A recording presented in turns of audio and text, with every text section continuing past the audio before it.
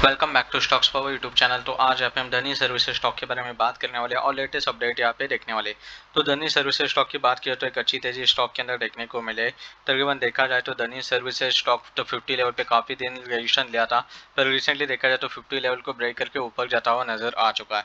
Friday के दिन देख सकते टू पॉइंट पैसे की तेज़ी, तकरीबन फाइव परसेंटेज की तेज़ी स्टॉक के अंदर देखने को मिली थी, यानी कि फिफ्टी लेवल पे क्लोजिंग दे चुका था। जैसे भी देख सकते ओपन हुआ था ओपन होते ही यहाँ पे अपर सर्किट लग चुका था अपर सर्किट में लॉक हो चुका था। बीच में सेलिंग प्रेशर भी देखने को मिला था, पर बाइंग प्रेशर ज़्यादा था तो यहाँ पे अपर सर्किट में डे एंडिंग तक लॉक था।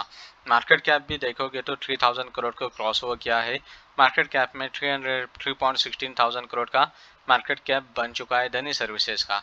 पिछले पाँच दिनों के ऊपर भी नज़र डाली जाए तो पिछले पाँच दिनों में देख सकते हैं, तकरीबन 11.57 परसेंटेज की तेज़ी स्टॉक के अंदर देखने को मिला एक अच्छी मूवमेंट जैसे 50 लेवल को ब्रेकआउट किया तो अपर सर्किट फिर से लगना चालू हो चुका है स्टॉक के अंदर। तो वॉल्यूम भी देख सकते हो, तकरीबन 37 लाख का वॉल्यूम था फ्राइडे के दिन, यहाँ पे धनी सर्विसेज़ का। ट्रेडेड वैल्यू के ऊपर नज़र डाली जाए तो 1993 लाख का यहाँ पे ट्रेडेड वैल्यू देखने को मिला है। सिक्योरिटी वाइज डिलीवरी पोजीशन भी देखे जाए तो 37 लाख में से 22 लाख क्वांटिटी जो है, वो डिलीवरी के लिए जा चुके हैं। तकरीबन 61 परसेंटेज क्वांटिटी जो है, वो डिलीवरी के लिए जाते हुए नज़र आ चुके हैं धनी सर्विसेज़ स्टॉक के अंदर। तो चार्ट के ऊपर भी नज़र डाली जाए धनी सर्विसेज़ के तो देख सकते फिफ्टी लेवल पे रजिस्ट्रेशन लिया गया था, फिर से उसको ब्रेकआउट किया। गैप अप से ऊपर ओपन हुआ और उसी के लेवल के, और एक अच्छी तेज़ी देखने को मिले।